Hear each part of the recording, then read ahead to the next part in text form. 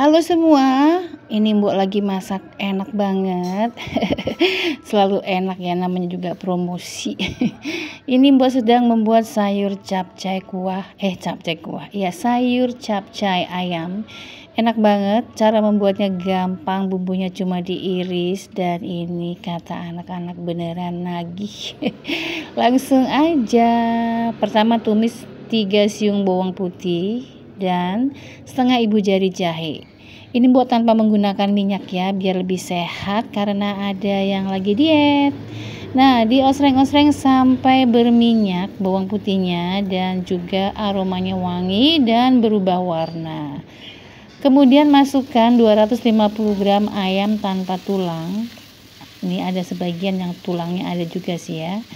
Ini langsung aja dibolak-balik disangrai sampai nanti warna ayamnya berubah dan aromanya juga wangi serta bawang putihnya makin matang.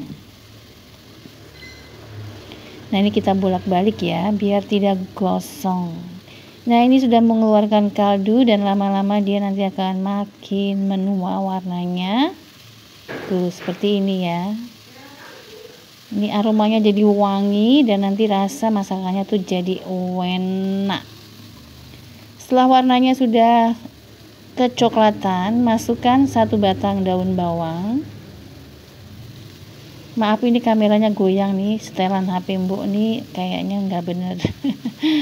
Nah ini setelah di osreng-osreng dan daun bawangnya layu tambahkan 2 sendok teh kecap asin dan baluri atau aduk terus ya agar terkena kulit atau permukaan ayam dan semua bumbunya.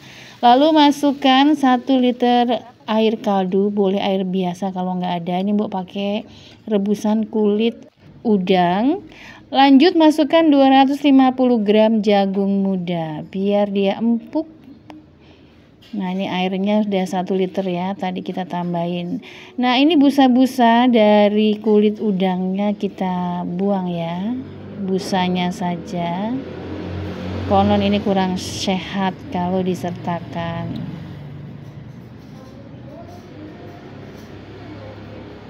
atau setidaknya dia amis biasanya ya. Kemudian campur satu sendok teh kaldu bubuk dan seperempat sendok teh garam, biarkan mendidih tes rasa. Nah, ini kita masukkan 100 gram sawi putih dan 500 gram campuran brokoli dan kembang kol. Tambahkan setengah sendok teh lada bubuk.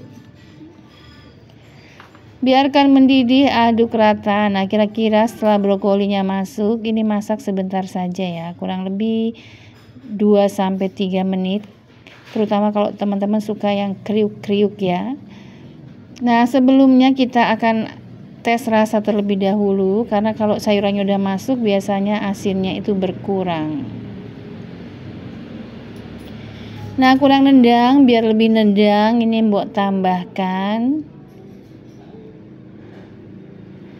1 sendok makan saus tiram biar rasanya seperti masakan di resto Chinese. Nah, ini udah udah enak banget. Siap-siap matikan kompornya. Dan sayur capcay atau capcay kuahnya siap disajikan.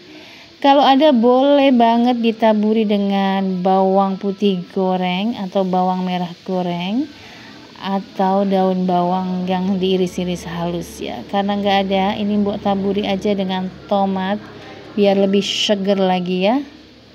Dan lebih sehat. Nah udah deh teman-teman demikian. Selamat mencoba